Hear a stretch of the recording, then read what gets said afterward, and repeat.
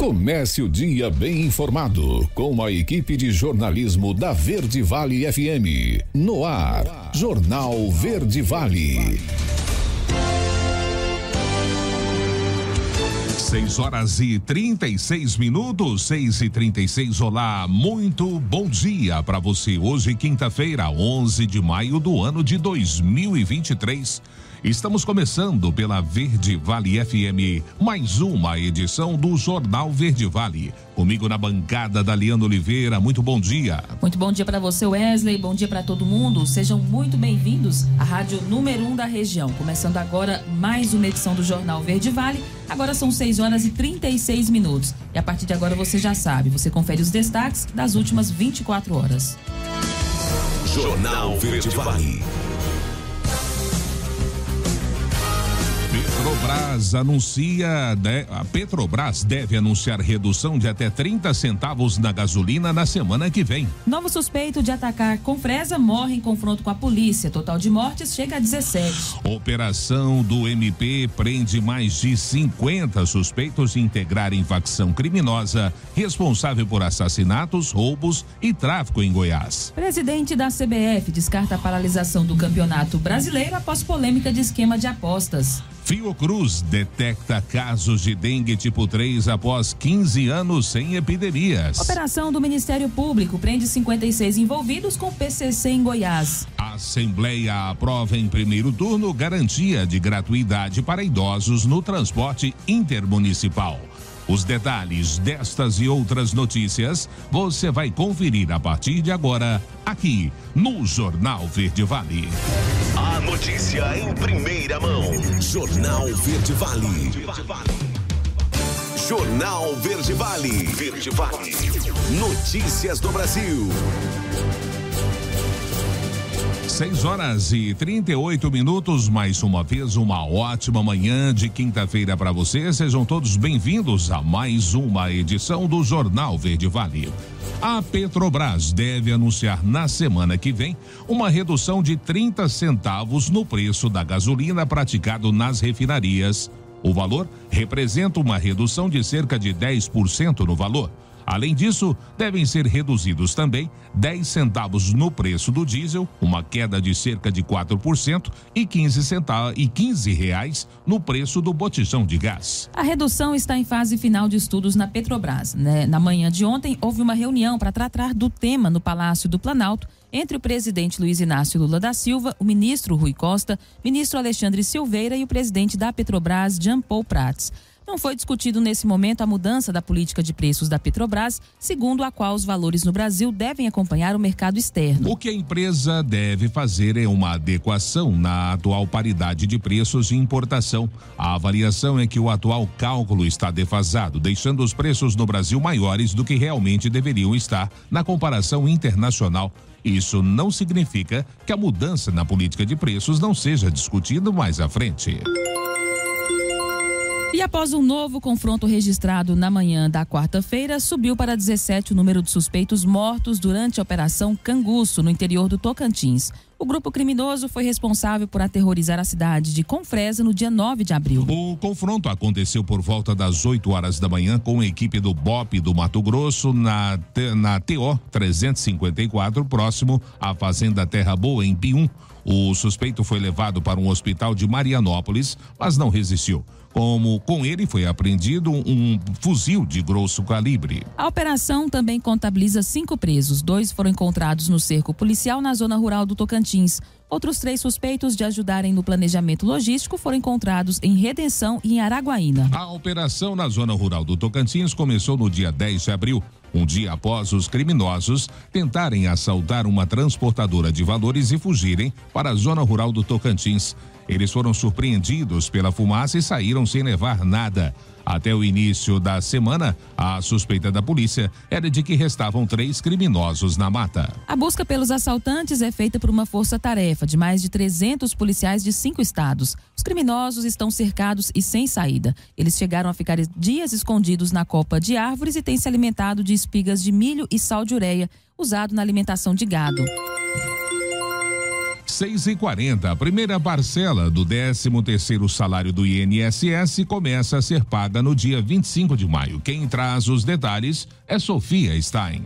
A primeira parcela do 13 terceiro salário começará a ser distribuída aos aposentados, pensionistas e demais beneficiários do Instituto Nacional do Seguro Social, INSS, a partir do dia 25 deste mês. O calendário de pagamentos é de acordo com o último número do número de inscrição social, NIS. Aqueles que recebem até um salário mínimo terão as parcelas disponíveis a partir do dia 25 de maio e 25 de junho. Para os que recebem acima deste valor, o pagamento será entre os dias 1 e 7 de junho. O conselheiro do Conselho Regional de Economia do Estado de São Paulo, Carlos Eduardo Oliveira, explica que a antecipação das parcelas do 13º do INSS movimenta a economia, pois faz com que a circulação de dinheiro seja maior. Esse recurso vai ser utilizado para adquirir produtos e serviços, enriquecendo e movimentando ainda mais a nossa economia. O economista e diretor financeiro da Cooperativa Brasileira de Serviços Empresariais Sociais, Sebrase, Guide Nunes, orienta aos beneficiários que tiverem o orçamento de seus gastos organizados que guardem o dinheiro para investimentos futuros e aqueles que possuem dívidas, principalmente aquelas com juros altos, que à medida que tiverem condições, irem liquidando os débitos aos poucos. Para que está a dívida, principalmente do consignado? Para aumentar a liquidez, quer dizer, ele ter um, uma aposentadoria líquida ou pensão líquida maior todo mês, né? Para os seus gastos básicos. Para mais informações sobre o benefício, ligue para a central de atendimento pelo número 135. Também é possível acessar o www.meu.inss.gov.br ou entrar no aplicativo Meu INSS, que está disponível para download gratuito na Apple Store e na Google Play. Reportagem Sofia Stein. Jornal Verde Vale. Notícias de Goiás. 6 horas e 43 agora. Uma operação do Ministério Público prendeu 56 pessoas suspeitas de integrar uma facção criminosa responsável por assassinatos, roubos e tráfico aqui em Goiás. De acordo com o órgão, são cumpridos mandados em 21 cidades goianas. A operação também acontece em outros 12 estados brasileiros. A investigação em Goiás, conduzida pelo Grupo de Atuação Especial de Combate ao Crime Organizado GAECO, segundo o Ministério Público, teve origem a partir de provas compartilhadas pelo Ministério Público de São Paulo com a autorização da Justiça Estadual Paulista. As apurações mostraram que dezenas de membros da facção criminosa em questão praticaram crimes graves em cidades goianas. Além de assassinatos, tráfico de drogas e roubos, o órgão menciona um furto realizado em uma agência bancária com o uso de material explosivo. Em Goiás, o Ministério Público detalhou que o objetivo é que sejam cumpridos 70 mandados de prisão preventiva e 38 de busca e apreensão os mandados são cumpridos nas cidades de Goiânia, Aparecida de Goiânia, Guapó, Catalão, Três Ranchos, Itubiara, Panamá, Morrinhos, Caldas Novas, Jataí, Mineiros, Planaltina de Goiás, Formosa, Novo Gama, Uruaçu, Mara Rosa, Rio Verde, Santa Helena de Goiás, Quirinópolis, Edéia e Jaraguá. E com a reaproximação do ex-prefeito de Aparecida, Gustavo Mendanha, do MDB, o ex-governador Marconi Perillo fica com campo livre para ser praticamente a única voz de oposição ao governo do estado. O Tucano diz que não vai abandonar a política e não descarta se candidatar ao Palácio das Esmeraldas em 2026. Entre os prováveis nomes que podem postular a sucessão do governador Ronaldo Caiado, Marconi é o único que veste o figurino de oposição. O vice-governador Daniel Vilela articula para ser o candidato da base caiadista e o senador Wilder Moraes trabalha para se viabilizar como representante da direita e do bolsonarismo na disputa, mas não se apresentará com críticas ao governo estadual. E o dia D da vacinação contra a gripe imuniza milhares de pessoas aqui em Goiás. E a campanha segue até o dia 31 de maio. Confira os detalhes do cronograma com Agatha Couto. Dados parciais informados por 212 municípios mostram que 164.639 pessoas de 6 até 59 anos de idade foram vacinadas no sábado, durante o dia D da campanha de vacinação contra a gripe no estado.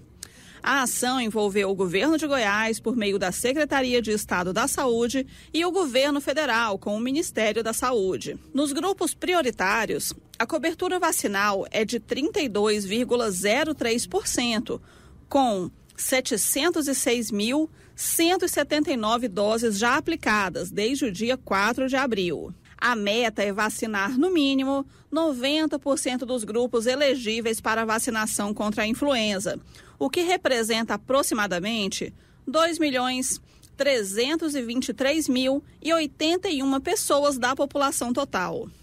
Inicialmente, a vacinação contemplaria apenas os grupos prioritários elencados pelo Ministério.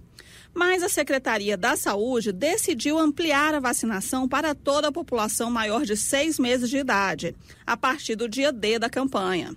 A decisão se deu em função do aumento do número de casos e óbitos por influenza em pessoas dos grupos não prioritários e pela baixa procura das vacinas pelos grupos prioritários.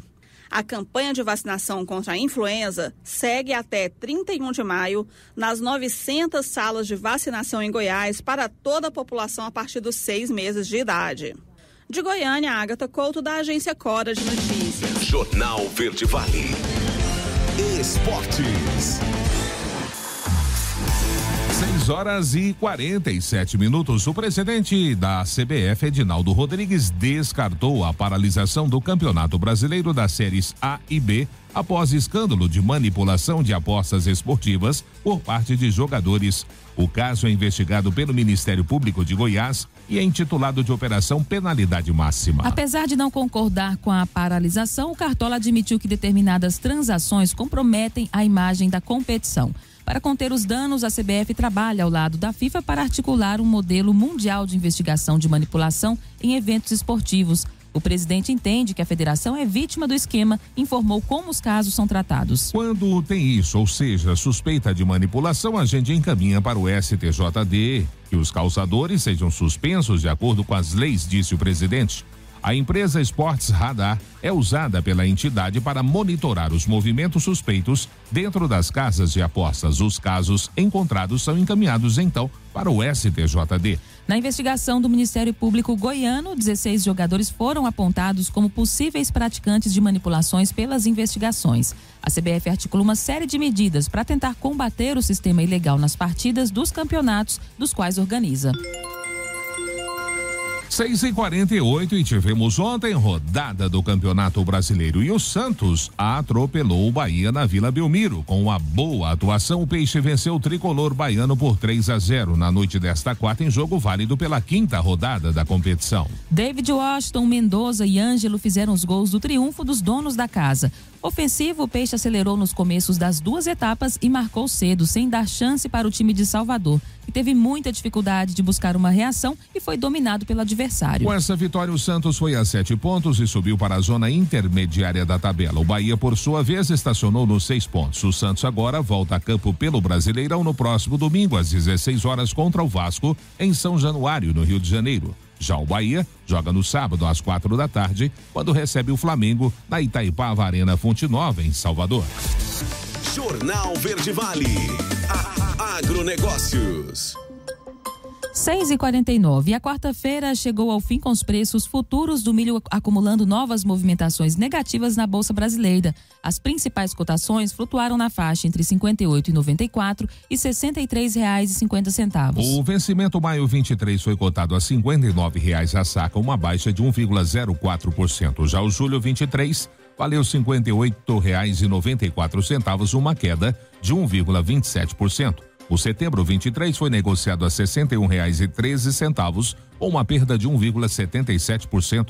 O novembro 23 teve valor de R$ 63,50, com uma desvalorização de 2,16%. Para o analista de mercado da Brandalis Consult, Vlamir Brandalize, a cada dia que passa a segunda safra do milho brasileira se mostra mais espetacular. Brandalize ainda opinou que há espaço para o milho seguir em baixa por mais algumas semanas antes de se voltar para a exportação, que hoje paga entre 62 e 65 reais nas posições de agosto a dezembro. No mercado físico brasileiro, o preço da saca de milho também teve uma quarta-feira negativa. O levantamento realizado pela equipe do Notícias Agrícolas não identificou valorização em nenhuma das praças, mas percebeu desvalorizações em Não Me Toque, Tangará da Serra, Campo Novo do Parecis, Sorriso, Brasília, São Gabriel do Oeste, Itapetininga e Campinas.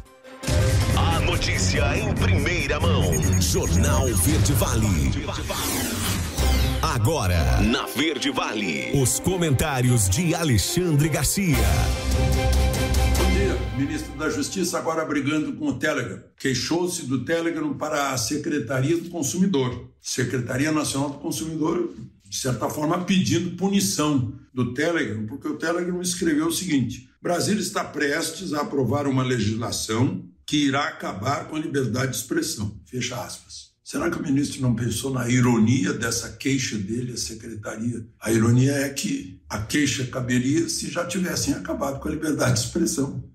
Porque o que fez o Telegram foi exercer a liberdade de expressão garantida pela Constituição, não só garantida, como eh, que veda a censura. A Constituição proíbe censura. Então, se queixar de quê do Telegram? E é um projeto de lei. Todo projeto é exposto ao público para ser discutido, para ser criticado, para ser elogiado, para aparecer em mais luzes ou para mostrar os defeitos. É isso. Mas ao se queixar, ele já está. É, Pressupõe-se que existe censura nesse país. Porque o que, que o Telegram diz não é calúnia, censura, não é injúria, não é difamação, não é nada que contraria o Código Penal e muito menos a Constituição. Bom, o, o, ministro tentou ser irônico, mas pareceu até uma ameaça com o senador Marcos Duval eh, lá numa comissão do Senado. O ministro disse: ah, o senador fica lá na porta do Ministério da Justiça fazendo gravações para postar na rede social. Eu aviso o senador que se ele é da SWAT, eu sou dos Vingadores. Citou Capitão América, Marvel tal. Ficou estranho. Agora, o, o ministro não está de acordo com abrir o espaço aéreo do território Yanomami. Mas não sei como vão tirar 20 mil garimpeiros de lá. Tiraram alguns, mas queimaram os aviões dos garimpeiros. Eles só podem sair a pé ou de canoa. Um dos, dos confrontos que houve foi de canoa, né, em que resultou um morto e dois feridos, um, um agente de saúde e dois feridos. Já morreram 13 garimpeiros. Na última mostrei aqui uma, uma garimpeira que foi esguelada, foi estrangulada. É porque eles não conseguem sair de lá a pé sem passar por território indígena, pertinho. E aí há confronto, como era previsível. Vejam só a ironia. Em agosto de 2022, em plena campanha eleitoral, o TSE criou um gabinete de controle da desinformação Parece coisa de George Orwell, de 1984. Assessoria Especial de Enfrentamento à Desinformação. E o nomeado, senhor Eduardo Talhaferro. Pois não é que agora ele entra na casa dele furioso com a mulher dele, subiu para o quarto, deu um tiro, a mulher pegou as, as filhas, se refugiou na garagem, chamou a polícia e ele está preso. E a polícia apreendeu arma, munição e logo depois ele foi demitido do TSE, do gabinete do ministro Alexandre de Moraes. Imagina, ele parece que não tem equilíbrio para ter arma, nem equilíbrio para julgar o que é desinformação. Aliás, ninguém tem, né? Só Deus, né?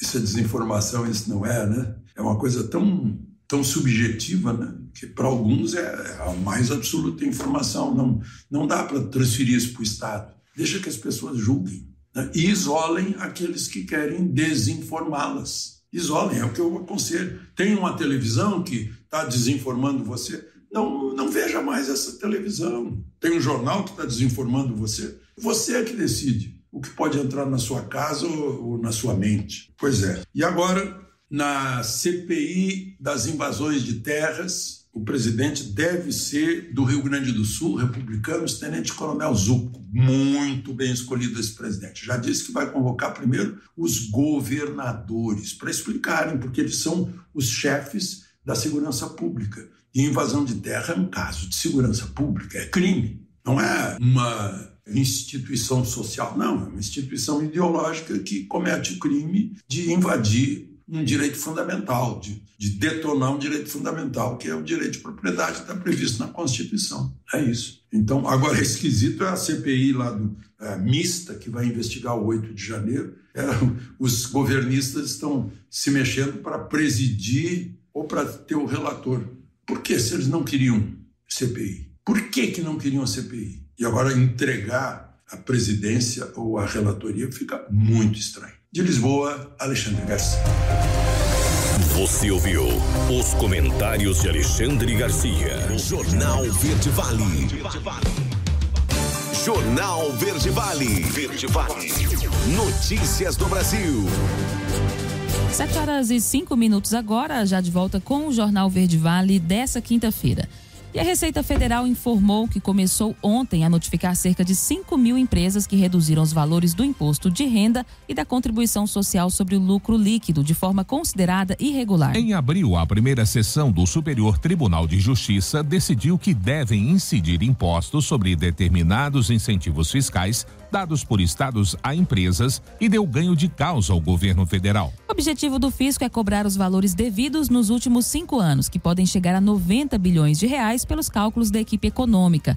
Além disso, com a decisão do STJ, as empresas não poderão mais usar essa dedução indevida nos próximos anos, o que vai ajudar a incrementar a arrecadação. As estimativas da Receita Federal são de que a decisão do STJ que permitiu a cobrança relativa aos últimos cinco anos de impostos devidos, mais os valores que passarão a ingressar mensalmente nos cofres públicos, resultarão em um aumento de arrecadação de 70 bilhões de reais este ano. Para 2024 e 2025, o ingresso anual de recursos estimado é de cerca de 80 bilhões de reais e quase 90 bilhões, respectivamente, segundo cálculos da Receita Federal.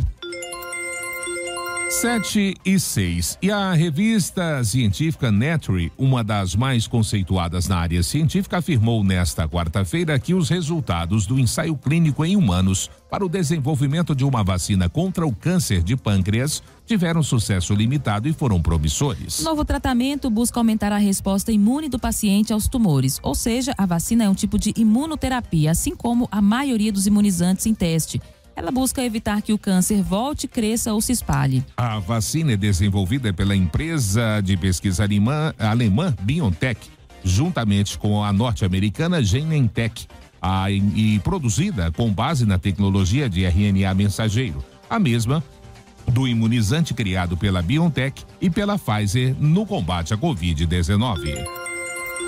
E o marketing digital chega às telas de caixas eletrônicos. Confira essa novidade nessa matéria de Carolina Prazeres. Quando se fala em atrair a atenção dos consumidores, a tecnologia se mostra uma grande aliada. Encontrar lugares onde o marketing digital pode atingir o cliente é um desafio. Um novo formato está sendo utilizado nas telas dos caixas eletrônicos. Enquanto você espera a leitura do cartão ou durante a retirada do dinheiro, inserções de 5 segundos de algum produto ou serviço irão aparecer na tela do caixa eletrônico.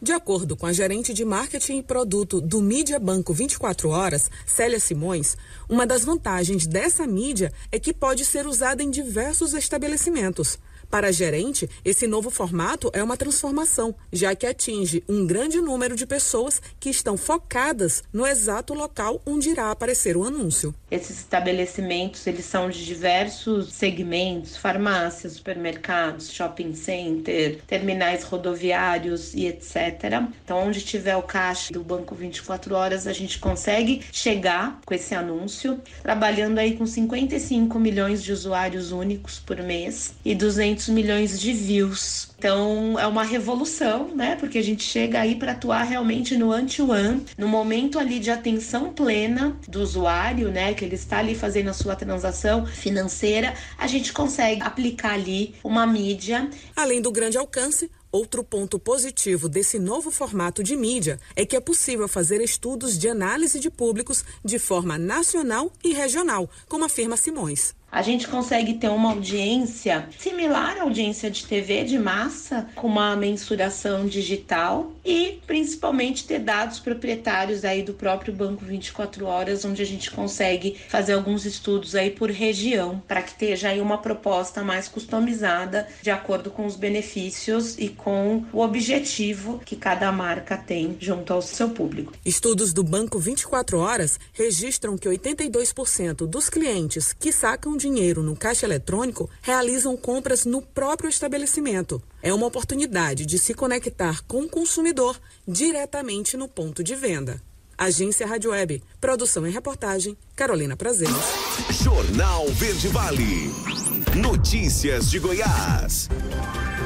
Sete horas e nove minutos. E a Polícia Civil Goiana, por meio da Delegacia Estadual de Repressão a Crimes Cibernéticos, realizou, realizou uma operação na manhã da última quarta-feira para combater a exploração sexual de crianças na internet. Na ocasião, foram cumpridos quatro mandados de busca e apreensão e duas pessoas foram presas em flagrante. Segundo a Polícia Civil, na residência de um dos presos foram encontrados mais de 27.500 arquivos de pornografia infantil. A Operação Prostasia 2, que foi como foi nomeada por significar proteção em grego, cumpriu mandados em Aparecida de Goiânia, Goiânia, Goiatuba e Rio Quente. Segundo a Polícia Civil, em três residências foram encontrados materiais de exploração sexual infantil armazenados em diversos pendrives e outros dispositivos. Já na quarta casa foram apreendidos aparelhos eletrônicos que irão passar por uma perícia. A ação foi executada com o objetivo de encontrar imagens e vídeos de crianças e adolescentes em situação de exploração sexual. Além disso, conforme a instituição, contou com o apoio da Homeland Security Investigations, da Embaixadas dos Estados Unidos no Brasil e também da Polícia Federal. 711. As inscrições para o processo seletivo 23-2023 da Universidade Estadual de Goiás, a UEG, se encerram hoje, quinta-feira. São ofertadas 450 vagas em 11 cursos de graduação e os candidatos devem se inscrever exclusivamente pelo site www.vestibular.eg.br. A taxa de inscrição é de 50 reais e as provas serão realizadas no dia 4 de junho nas cidades onde houver vagas disponibilizadas. Já o período de solicitação de isenção da taxa vai até o dia 20 de abril. Resultado final será divulgado no dia 10 de julho. O candidato deverá indicar no formulário a primeira opção de curso, cidade, turno e a segunda opção de graduação que deseja cursar. Há vagas reservadas ao sistema de cotas voltadas a candidatos que sejam comprovadamente oriundos da rede pública de educação básica, negros, indígenas ou pessoas com deficiência. São oferecidas ainda vagas suplementares aos quilombolas. As 450 vagas do processo seletivo são oferecidas para os seguintes cursos: Agronomia, Arquitetura e Urbanismo, Ciências Biológicas, Educação Física, Engenharia Agrícola, Engenharia Civil, Farmácia, Fisioterapia, Medicina Veterinária, Química Industrial e Zootecnia. 712. O uso de detectores de metais como medida de segurança nas escolas do governo do estado recebem a aprovação de professores, pais e alunos. Quem traz os detalhes é Dino Ferreira. De um por um, os alunos vão passando pela checagem com detector de metais. Até mesmo os professores passam pela revista. A Escola Estadual Gracinda de Lourdes é uma das 600 unidades escolares que recebeu um investimento para comprar o aparelho. A escola conta agora com dois detectores.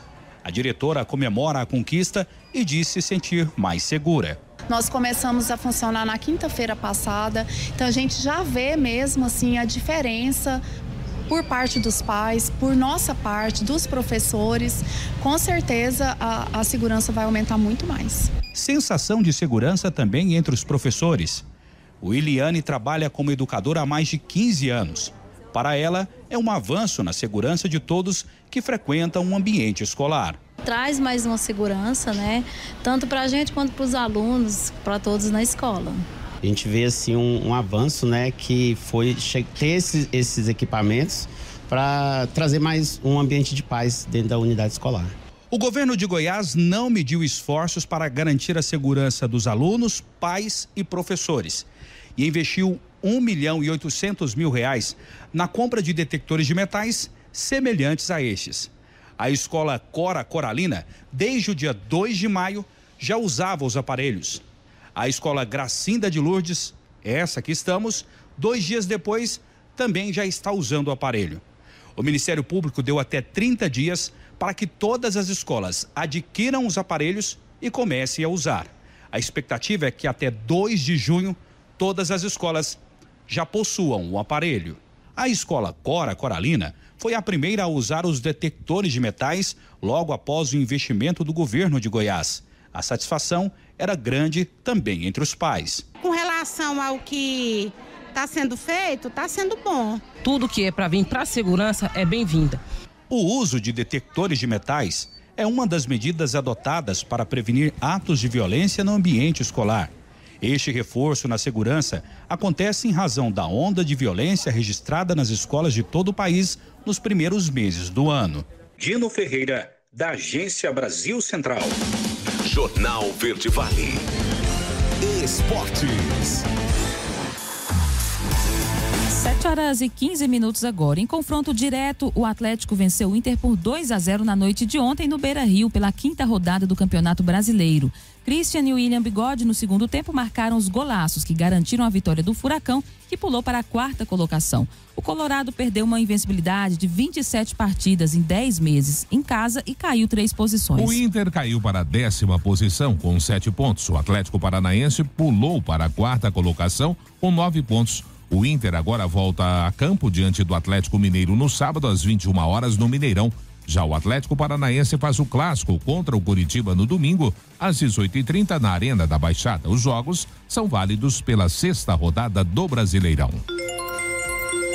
E a nova Lei Geral do Esporte reforça o combate ao preconceito. Confira os detalhes dessa lei com Remê Almeida. A nova Lei Geral do Esporte, aprovada na terça-feira no Senado, cria um novo marco regulatório para as modalidades esportivas no Brasil. O texto unifica em mais de 200 artigos legislações anteriores, como a Lei Pelé, o Estatuto do Torcedor, a Lei de Incentivo ao Esporte e a Lei do Bolsa Atleta. O projeto tramitava desde 2017 no Congresso e agora aguarda apenas a sanção presidencial para entrar em vigor. O advogado especialista em direito desportivo, Andrei Kampf, destaca alguns pontos importantes um dos pontos importantes é que a lei reforça o compromisso e a necessidade de se investir em governança no esporte, tornando crime a corrupção privada no Brasil, no esporte, algo que não era até pouco tempo atrás, agora passou a ser crime a corrupção privada no esporte, se essa lei for sancionada pelo presidente. Isso vai obrigar com que as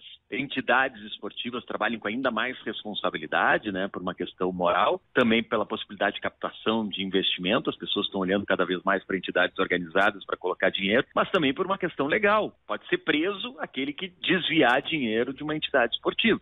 A nova Lei Geral do Esporte também prevê a criação da Autoridade Nacional para a Prevenção e Combate à Violência e à Discriminação.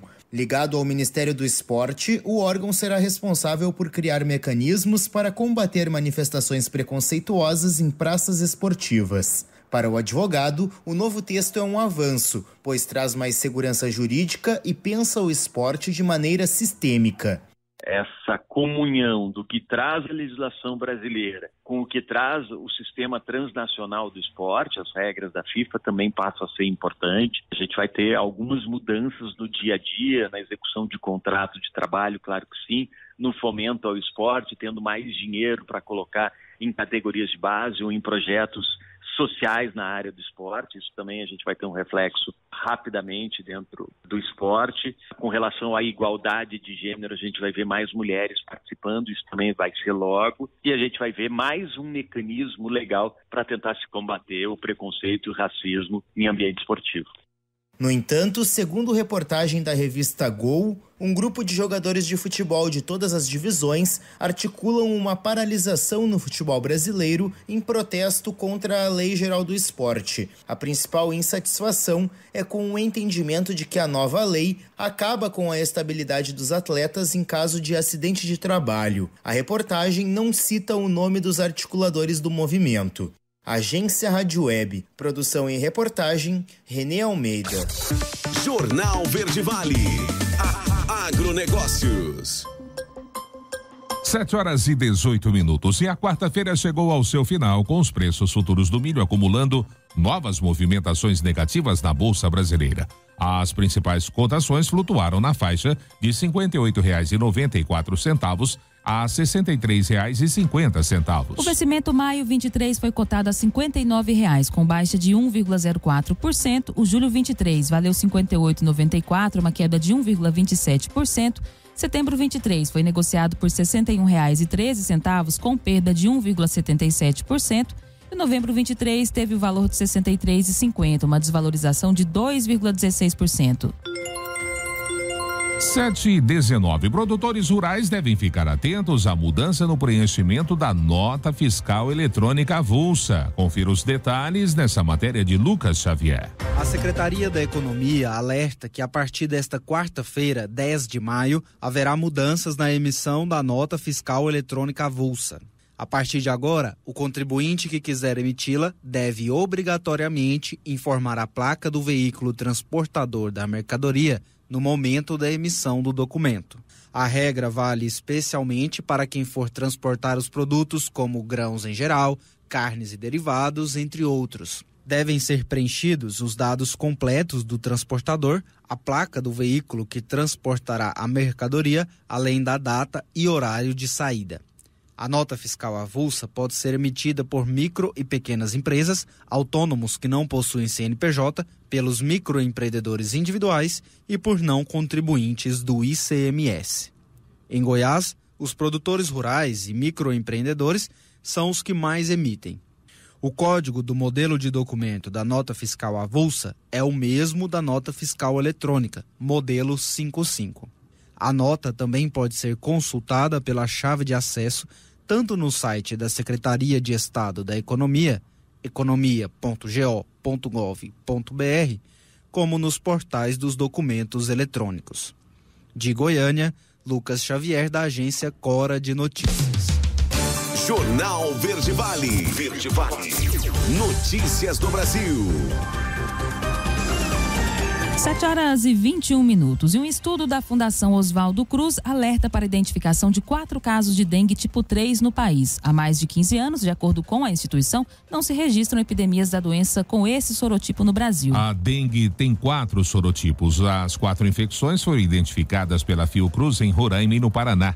Enquanto os três casos de Roraima são autóctones, ou seja, se infectaram no estado e não tinham histórico de viagem, o caso do Paraná foi importado, uma vez que o paciente veio do Suriname. Pesquisador faz parte do Laboratório de Arbovírus e Vírus Hemorrágicos do Instituto Oswaldo Cruz e chefia o Núcleo de Vigilância de Vírus Emergentes, Reemergentes e Negligenciados da Fiocruz Amazônia.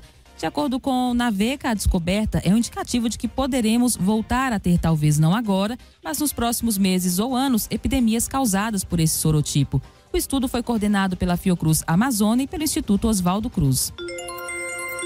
7 e 22 e o mundo tem uma morte materna ou de bebê recém-nascido a cada sete segundos. Quem traz os detalhes desta triste notícia é Milena Abreu. Mortes de mães e bebês por complicações na gravidez e no parto não diminuem significativamente desde 2015.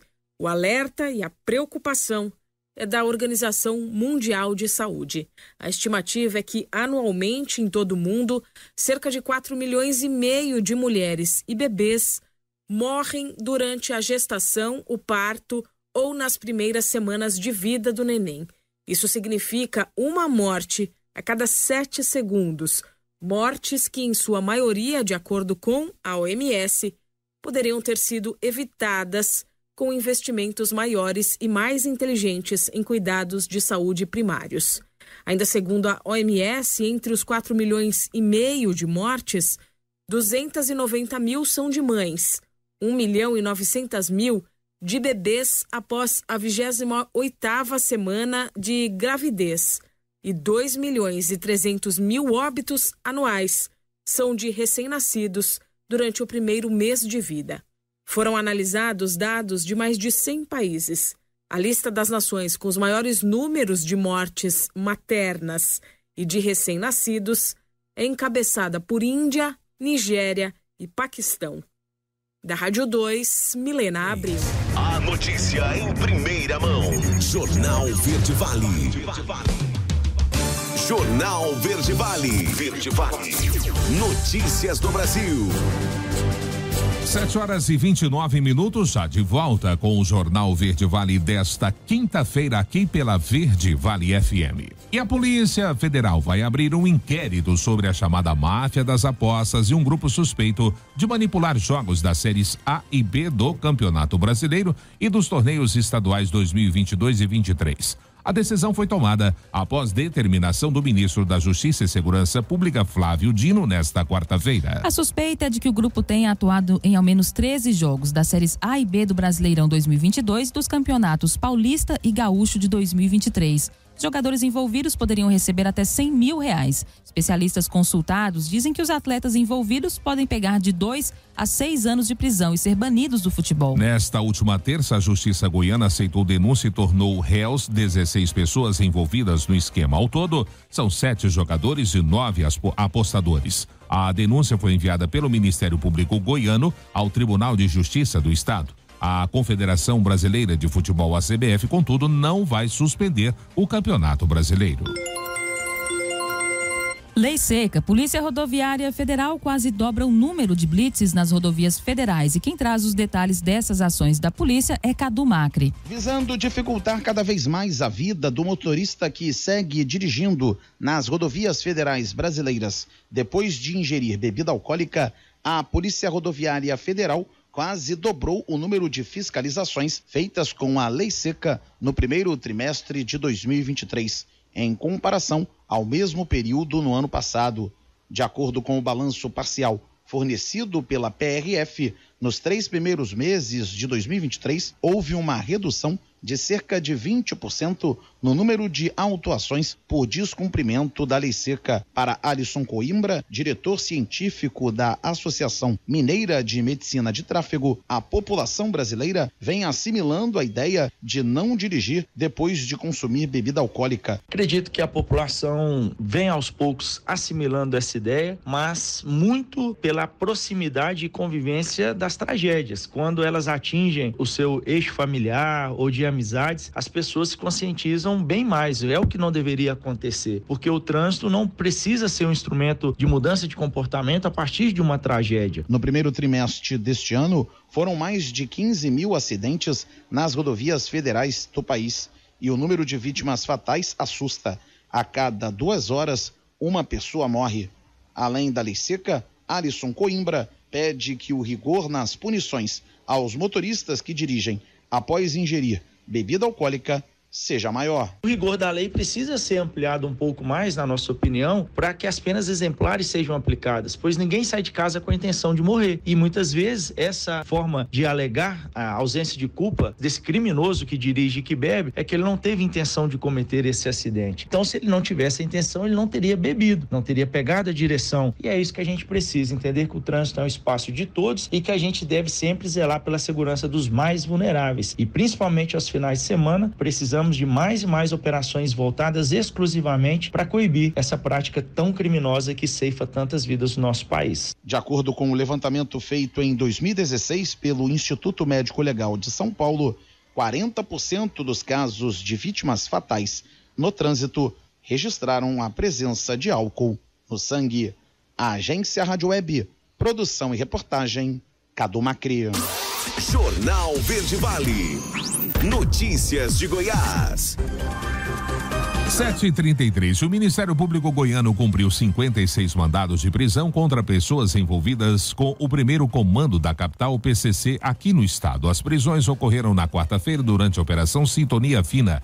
A operação teve por objetivo o cumprimento de 70 prisões preventivas e 38 de buscas e apreensões de criminosos relacionados à facção criminosa. Segundo o Ministério Público, 34 já estavam no sistema prisional e 14 envolvidos estão foragidos. Alguns dos mandados de busca e apreensão foram cumpridos dentro das unidades prisionais.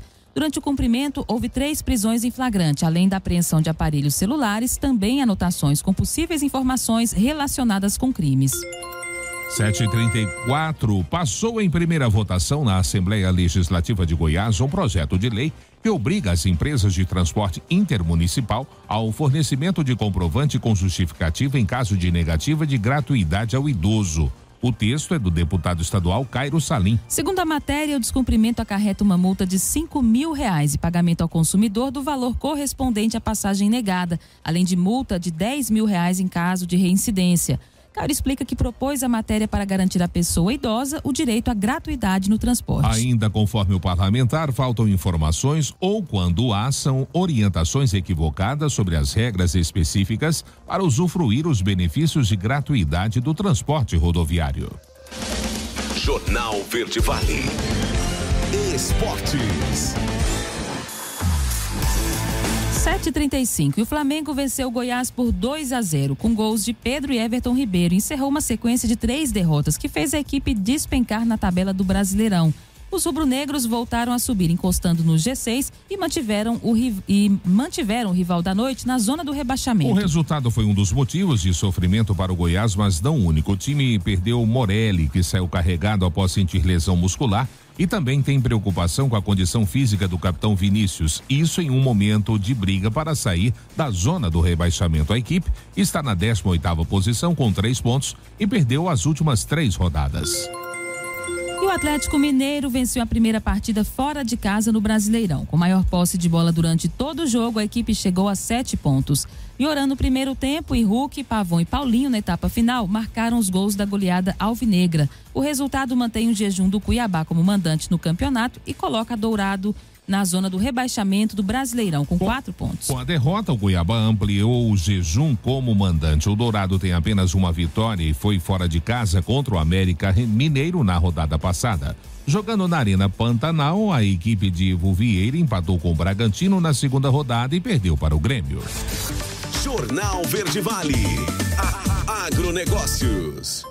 7 horas e 36. E com a colheita da segunda safra de milho do Brasil prevista para começar no início do próximo mês, as estimativas de um recorde na produção total da temporada 22-23 estão se consolidando. É o que apontou ontem uma pesquisa da Reuters, que indica crescimento de 12% ante o ciclo passado para 126,7 milhões de toneladas. A estimativa média, com base em avaliações de 13 analistas e instituições de pesquisa de safra, ficou quase estável na comparação com a projeção de uma sondagem realizada com praticamente as mesmas fontes no mês de março. Isso apesar de uma redução na previsão da área plantada por conta do atraso no plantio da safrinha, o que indica produtividade em alta, segundo apontaram números da maioria dos analistas ouvidos que citaram o clima como favorável. Levantamento realizado pela Datagro Grãos mostra que a comercialização brasileira da safra 22-23 da soja atingiu 51,6% da produção esperada até o dia 5 de maio muito aquém dos 64% de igual período do ano passado, dos 80,6% do recorde da safra em 2019 e 20 e da média dos últimos cinco anos, que é de 67,4%. Houve avanço mensal de 8,6 pontos percentuais, pouco abaixo dos 9,2 pontos percentuais registrados no mês anterior, mas acima dos 7,6 pontos percentuais da média normal. Apesar da confirmação da nova e expressiva retração nos preços, os produtores acabaram sendo forçados a vender para cumprir compromissos financeiros assumidos anteriormente. É o que diz Flávio Roberto de França Júnior, economista e líder de pesquisa da Datagro Grãos. As notícias locais são destaque no Jornal Verde Vale.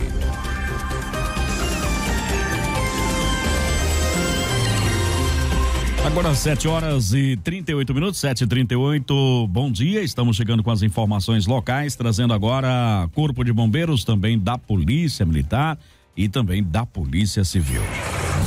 Jornal Verde Vale. Bombeiros.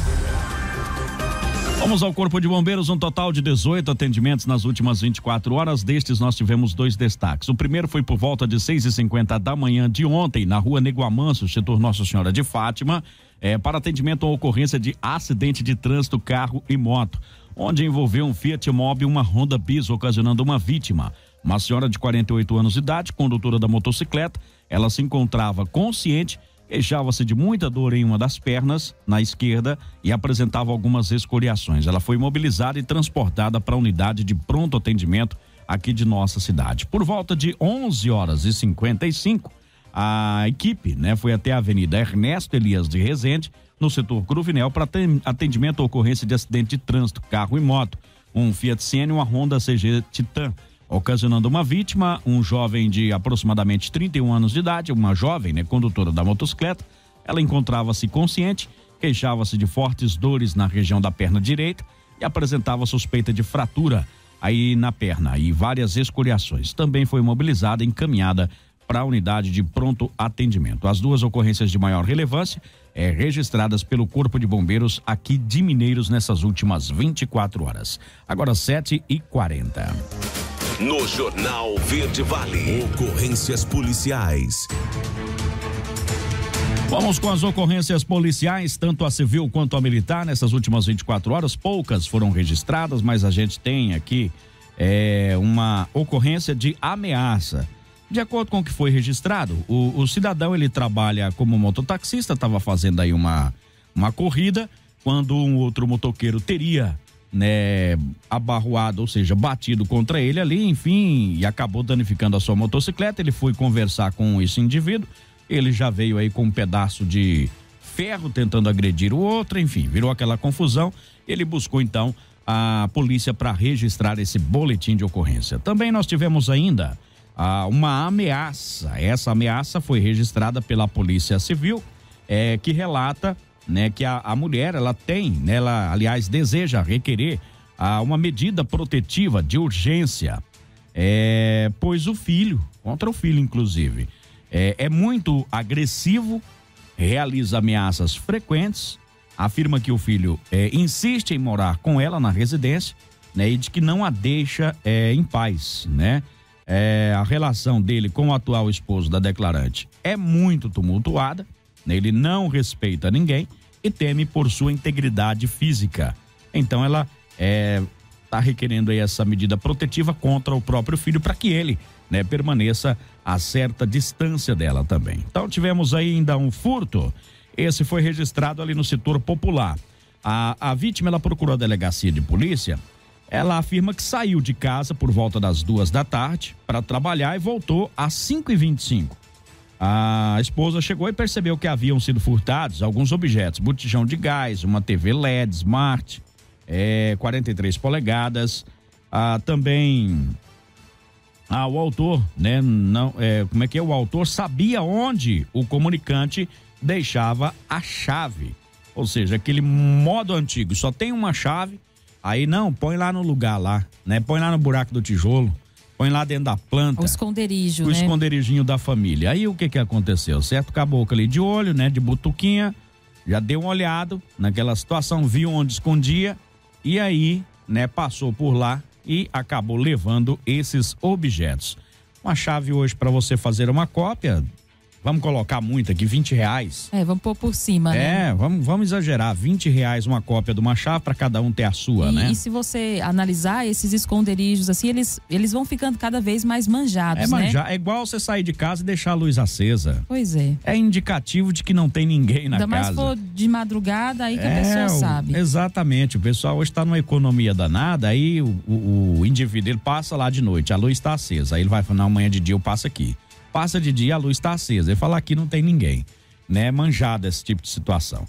Estelionato também. Compareceu na delegacia, a vítima, ela comunicou o seguinte: é, que no dia 10 de maio, mais conhecido aí como ontem, é, por volta da, do meio-dia e 30, ela chegou aí na sua loja, né? E o vendedor perguntou sobre algumas postagens feitas em sua conta pessoal aí do Instagram, anunciando produtos é, com preço abaixo do valor de tabela, é, pedindo uma parcela adiantada via Pix para reservar o produto. Ela foi verificar o, o Instagram e viu que a conta dela tinha sido hackeada. Ela nem tinha notado ainda, né, que havia sido hackeada. Ah, e ela verificou e percebeu, né, que a conta tinha sido hackeada. Uma mulher fez duas transferências via Pix no valor de 1.400 e 160 é para a conta anunciada, né? E, e aí ficou nesse prejuízo. Ela chegou lá para para trabalhar e a questão é que você está anunciando lá muito abaixo do valor, aquilo que acontece sempre por aqui, né? E as pessoas ainda insistem em comprar produtos, né, igual você disse ontem, bem abaixo do valor e ainda passar um adiantamento para segurar o negócio para quem você nunca viu na vida. Ou mesmo se você tenha visto a, a, a pessoa, fala: Não, Fulana, eu- assim que eu tiver aí na sua frente, eu faço o Pix, pode ser? Tô indo aí agora, segura para mim, pronto. Negócio é meu. Negócio é meu. Mas na verdade, assim, o que assusta, né, é, é que as pessoas nessa ânsia de fazer o chamado bom negócio, entre aspas. Rapaz, é, tá barato, é, hein? vou lá comprar, depois eu revendo. Mesmo, mesmo que tem, né? Vou, vou comprar porque o preço está de ocasião. As pessoas não pensam sequer, não conseguem raciocinar no momento sobre a hipótese de estar ali agora já atuando como um receptador. Né, assim, há um crime beirando eh, essas ofertas assim que você fala, rapaz, isso não existe. Mas aí você vê, você quer acreditar, quer fazer um bom negócio e essa tentação de fazer o bom negócio vai jogar você, às vezes, numa lacuna, num buraco, que você podia ter ficado quieto, né? Não existe, gente. Se uma televisão, você olha, uma televisão custa mil reais. Aí você vê o cara vendendo a televisão por duzentos reais. Então não tá certo, não bate, as contas não fecham, né? Por que, que a pessoa vai estar tá vendendo de duzentos reais? E aí você, como você disse, Jota, o importante é você ir em loco, né? Porque depois a pessoa pode também ali pela, pelas redes sociais fala, não, eu tô de mudança, não dá de levar, eu tô fazendo um queima aqui dos móveis, né? Eu tô chegando. É. então vai ao local, né? Então onde é que você tá? Onde é que, onde é, que é o endereço? Tô indo aí, porque nós já faz um negócio, eu já faz um embrulho só, já jogo na carroceria e já levo. Né? Mas as pessoas não têm essa. E o que mais assusta, né? É o tal do adiantamento, né? Manda o Pix na frente, que isso aqui garante o negócio.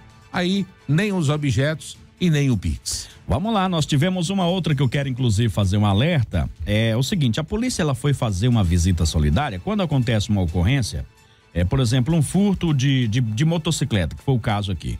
A polícia faz o registro, faz patrulhamento, não conseguiu em determinado tempo, ela volta até essa vítima para saber se há alguma nova informação, enfim, é a chamada visita solidária. Nessa visita solidária, feita pela Polícia Militar, é, a uma pessoa que teve a sua moto furtada, aqui em Mineiros, a polícia encontrou a motocicleta na garagem da vítima. Aí indagou, mas como que você conseguiu recuperar a motocicleta? Ela falou: não, encontrei ela posteriormente abandonada. Ok, beleza. Só que ela esqueceu de ir na delegacia para retirar o registro de furto e roubo. E é necessário retirar. O que, que aconteceu? Ela teve que sair da sua residência, acompanhada pela polícia, e até a delegacia para registrar esse boletim. A motocicleta geralmente tem que passar por uma perícia para saber se houve alguma alteração, enfim, nesse tipo de, de, de situação. Quando há a localização do veículo após registro de ocorrência, você tem que fazer o outro registro de ocorrência de localização do objeto. Já imaginou ela tá andando ou então empresta essa moto aí para um amigo, a polícia faz uma abordagem, já encontra a moto com um registro de furto e roubo. O camarada já vai preso ali, até explicar a situação, né? Aí já passou da hora, o cara já tá lá algemado, preso na delegacia de polícia. Então é preciso fazer o registro quando é, é, localiza o, o veículo ou objeto que for furtado ou roubado. E isso é importante até mesmo, porque é, como é que a polícia vai saber né, do que, que se trata aquela ocorrência? Tem também a situação de falsa comunicação de furto e roubo, que é uma, uma ocorrência que preocupa a polícia. Então, se você comunicou que a sua moto, seu veículo foi furtado, foi roubado, enfim, mas posteriormente você conseguiu recuperar, o correto é realmente fazer essa comunicação para que você depois não, não seja alvo de uma investigação, porque até você provar que você não teve culpa, que você realmente encontrou aquela motocicleta, pode gerar uma dor de cabeça. Olha, tivemos aqui também um outro ali no setor Buena Vista, é um furto. A, a vítima ela foi até o, o terreno, tem lá um, uma caixinha de correio que tem que ter, né, para ter a energia, a água ali, tem que ter uma caixinha de correio. Foi pegar ali as correspondências, né, água de conta e luz que geralmente chega, tá lá construindo. Só que quando ela chegou, ela percebeu que o hidrômetro, né, com a caixa protetora de metal, né, tinha sido furtada. Tinha sido furtada. Alguém levou o hidrômetro com a caixa e tudo. Falou, opa, aqui dando bobeira. E ela registrou então esse boletim de ocorrência. Ah, então, estas foram as registradas nessas últimas 24 horas, de acordo é, com a polícia né, militar aqui de Mineiros, tá? E a Polícia Civil também. 749. Jornal Verde Vale, a voz do cidadão. Muito bem, mudando e trazendo agora a voz do cidadão, muitas pessoas estão reclamando mais uma vez, né, da ali na estação rodoviária, de, não da estação, né, mas sim é, das pessoas, os andarilhos que por ali frequentam. Essa semana nós tivemos lá uma confusão, uma tentativa de homicídio, onde um do, dos indivíduos acabou golpeando o outro, enfim. Ah, passageiros já mandaram aqui diversas é, mensagens a respeito disso, é, dizendo aí que ali tem que colocar né, uma segurança armada para poder. Eu não sei se o, o, o, vigilante por lá tem arma ou não, mas para poder conter né, essas pessoas e retirá-las daquele local para dar tranquilidade. Nós temos hoje, né, aqui Mineiros, uma rodoviária. Hoje nós podemos né, dizer que temos uma rodoviária e não um ponto de ônibus igual antigamente. Hoje nós temos uma rodoviária. Então, é para que continue aí com esta mesma é, beleza com que foi entregue, né, esse, esse pessoal né, tem que sair dali realmente porque não contribui em nada. Não é um local, né, não é um, um, um ambiente aí para que andarilhos bêbados é, permaneçam. Ali passam famílias, ali passam pessoas de fora, passam crianças, enfim. Há sempre um perigo ali, principalmente desentendimento entre eles. É preciso verificar, né, realmente o que está acontecendo, porque essa, é, essa era uma das máximas, né, determinada aí é, pelo prefeito municipal, pelo Aleomar, pelo executivo, no sentido, né, de que essa tranquilidade pairasse ali sobre aquele local, justamente por ser frequentado, como você bem disse, pelas famílias, por pessoas que estão indo e vindo, e também é uma impressão que o município deixa das pessoas que estão passando pelo município e às vezes é, esse tipo de comportamento dessas pessoas nesse local especificamente traz uma imagem que não, não traduz aquilo que é a cidade, né? E anteriormente ah, desde que ela foi inaugurada, a estação rodoviária, nós não tínhamos esse tipo de ocorrência, ou pelo menos não era alardeado eh, que estava acontecendo esse tipo de situação por ali. Aliás, eram só elogios. Então tem que se verificar o que está acontecendo, né, para deixar que não deixar que isso propague e cresça e traga essa imagem negativa aqui para o município. Muito bem, olha, essa semana, aliás, já tem umas quantas semanas aí, ah, nós é, falávamos aqui da imobiliária, né? O imobiliário que o pessoal não está conseguindo localizar, né, Wesley? Tem um, um áudio aí de uma pessoa explicando que hoje não há um atendimento presencial, né? Hoje é tudo aí por aplicativo, né? Onde você consegue baixar os seus boletos e também é por número de WhatsApp. É, nós passamos uma que ah, outro dia de, é, não deu certo, mas uma mulher tá mandando aqui, ela dizendo assim, ó, aí eu consegui falar neste número aqui e aí deu certo que é o 64 2101 0800. 64 2101 0800. Ela disse que conseguiu mandar uma mensagem nesse número aqui, o WhatsApp, e obteve ali a resposta necessária. Então a gente repassa esse número: 64 2101 0800 ou 0800, tá? Isso é com relação a, aquela, aquelas indagações que nós estávamos tendo do Solar Betel? Isso, exatamente. Isso, o pessoal não estava conseguindo. E até, até passei para o Jota, entrei em contato, consegui falar lá na empresa, né? É Reis, acho que é isso. A Imobiliária Reis. Imobiliária Reis. E aí eles estavam nos explicando como acontece. É, chega um momento que eles denominam como estabilidade uh, do empreendimento, ou seja, já não há mais vendas, não há aquela propagação, ou seja, só, é só as parcelas. As parcelas, as emissões de boleto, né?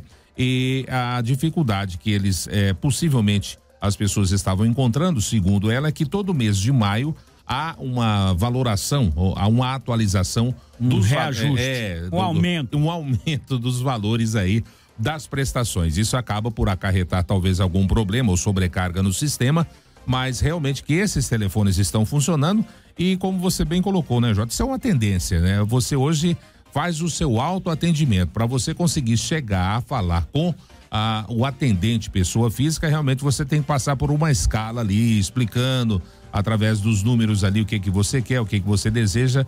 Mas enfim, essa pessoa que me atendeu verificou todo o sistema, está funcionando plenamente. Então ela acha que o que pode ter acontecido foi essa questão é, dessa atualização dos boletos aí, desse aumento. E aí pode ter ocorrido uma sobrecarga, mas que o serviço tá normal e as pessoas podem utilizar esse número que você acabou de dizer. Tem cavalo solto no setor aeroporto, fundo ali do aeroporto, né? Por, é, pode causar algum acidente, o pessoal tá fazendo esse alerta aí, tá? Ah, muito bom, vamos lá, tem mais é, reclamação por aqui, deixa me ver, algumas chegando por agora. Cadê? Tá aqui. Ah, bom dia, informal, que está acontecendo? Ah, sim, com a coleta de lixo, vários setores. Aqui, Vila da Paz, é, ontem lá no Alvina, Parque São José, é, no Jardim Floresta, ontem foi recolhido após a gente reclamar aqui no programa. né, de que desde domingo o lixo estava amontoado e ninguém coletava. E hoje eu tenho aqui no Nossa Senhora Aparecida, eu tenho reclamação da Vila da Paz, eu tenho uma que chegou agora aqui, deixa eu ver o endereço. É, José de Oliveira Martins também, a coleta de lixo e o lixo vai acumulando. A moradora da Vila da Paz diz que as ruas ali é estreitinha e já tá aquele acúmulo de lixo, não tá dando aí para passar, né? Então tá, tá a cidade inteira aí fazendo essa reclamação da falta de coleta de lixo. É verdade, essa, essa reclamação ela tem sido muito recorrente aqui na nossa programação. E sobre essa denúncia anterior aí do, dos animais soltos na via pública, né? A gente vai, eu vou compartilhar aqui o telefone da prefeitura, que é o telefone específico para fiscalização, que é o 64 3672 7877. É interessante que quando você veja esses animais na, na rua, você entre em contato direto com esse telefone para que a fiscalização consiga ir ali no ato, né, para poder fazer aquela aquele flagrante, porque se, as, aí você manda assim pra gente e aí a gente vai ter ali um tempo para repassar para fiscalização e de repente quando eles chegarem lá já não vai estar mais lá, o, o animal já vai ter ido para outra localidade. Então esse é o telefone para que você possa assim que você vê aquele animal solto na rua, você ligar para fazer a denúncia. É o 64 3672 7877. Muito bom, vamos lá, né? Trazendo aí, é, o pessoal tá dizendo aqui, trazendo mais informações e solicitações aqui no nosso programa. É no na Avenida Castro Alves, setor Teodoro de Souza também. O pessoal tá reclamando aí da coleta. José de Oliveira Martins também estão reclamando, tá? É. Ah, sim, somos contratados como vigilantes armados, só que a empresa não tem arma suficiente para todos. Complica a situação, né? Bairro Popular também. É, setor pecuária também reclamando da falta de lixo, setor cidade nova também, falta da coleta, só foi feito na segunda, não passaram mais. Ou seja, vários pontos aí da cidade, o pessoal fazendo essa reclamação, né? Eu só não vi reclamação, né? Aqui é, no centro. No centro não vi reclamação, mas nos demais setores, mais afastados, há sim essa falta de, de coleta de lixo não está sendo constante como era de costume. Então, que o problema seja é, solucionado o quanto antes. Nós tínhamos a informação de veículo danificado, mas a empresa não deve atender só a cidade Mineiros, um remanejamento de veículos, enfim, algo deve ser feito porque está complicado a, a, a, essa falta de coleta aqui em nossa Mineiros. 7 horas 57 minutos. A notícia em primeira mão. Jornal Verde Vale. Bom dia, Wesley. Muito bom dia para você, Jota. Bom dia também para todos os nossos ouvintes que conosco mais uma vez estiveram nesta manhã de quinta-feira, né? Tenham todos aí um ótimo dia no seu trabalho, no seu convívio familiar. Nós daqui da equipe de jornalismo, se Deus assim nos permitir, Voltamos amanhã, sexta-feira, a partir das seis e meia da manhã, em uma nova edição do Jornal Verde Vale. Bom dia, senhorita Daliana. Bom dia para você, Jota. Bom dia, Wesley. Bom dia para você também que está aí do outro lado, né, fazendo companhia pra gente. Agora 7 horas e 57 minutos, já não dá mais tempo, mas a partir de amanhã a gente se compromete, nós temos um compromisso com você, né, de ler a sua reclamação, a sua denúncia, a sua sugestão, enfim, ou até mesmo o seu feedback. Para você, uma ótima manhã de quinta-feira e até amanhã. 7 horas e 58, um abraço e quem todos com Deus. A gente se encontra amanhã, se Deus assim nos permitir. Tchau, tchau, gente. Lembrando que o número para participar é somente o 996 23 6881. A Verde Vale apresentou Jornal Verde Vale. Jornal Verde Vale.